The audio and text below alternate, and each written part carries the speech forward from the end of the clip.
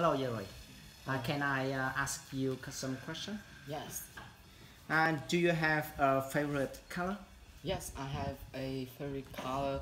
When I was a child, I often watching the film. Uh, name is Conan. Uh, the film talk about uh, in York, in New York have a big group.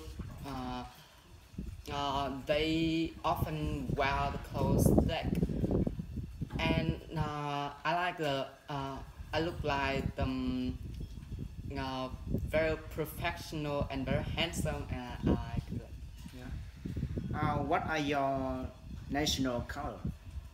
In my country, national color is uh, by, uh, made by two color is uh, yellow and red.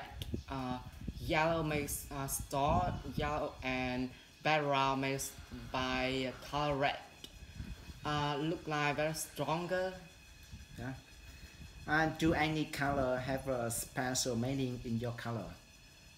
My favorite, uh, I like black. Um, I when I wear the well, color black, I feel comfortable and um, confident.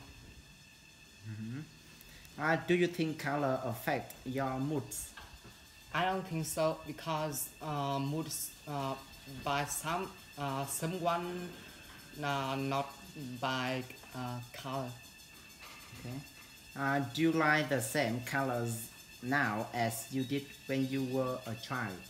When I was a child, I often wear color blue. Yeah. Uh, right now, uh, sometimes uh, I wear color uh, blue because Okay. I like it. Yes. Thank you, Yuri. Thank you.